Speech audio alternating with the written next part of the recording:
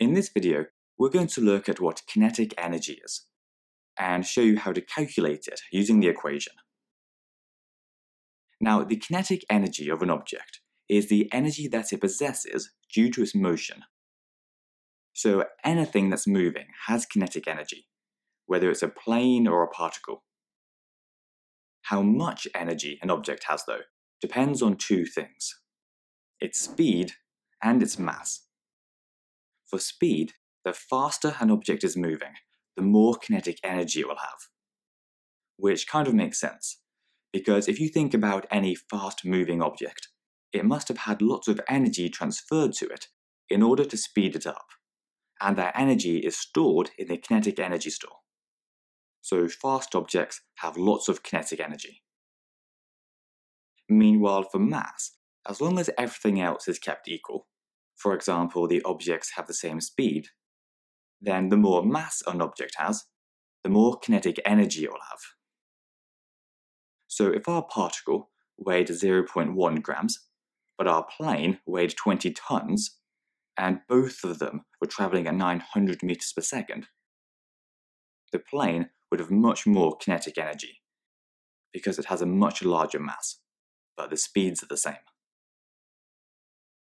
What if instead, though, the plane was travelling at 5 meters per second, and the particle was travelling at 4,000 meters per second?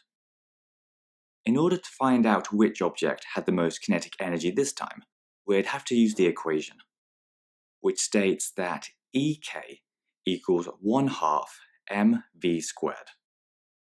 If you're not familiar with this equation, the E stands for energy, and the little k means it's kinetic energy.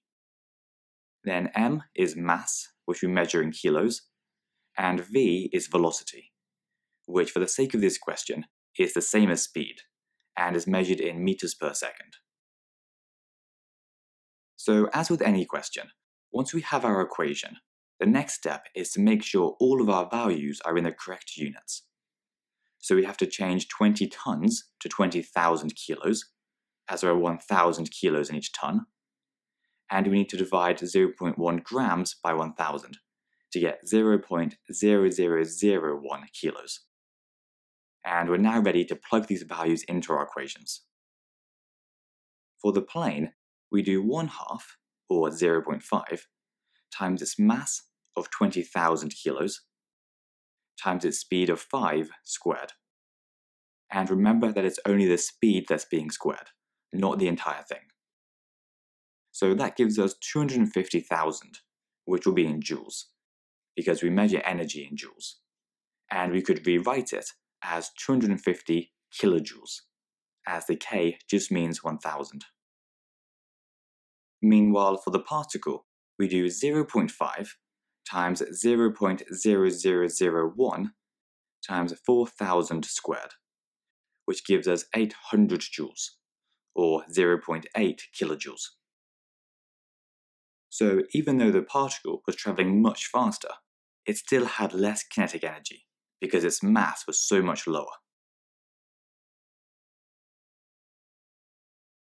Anyway, that's all for this video, so hope you enjoyed it, and we'll see you next time.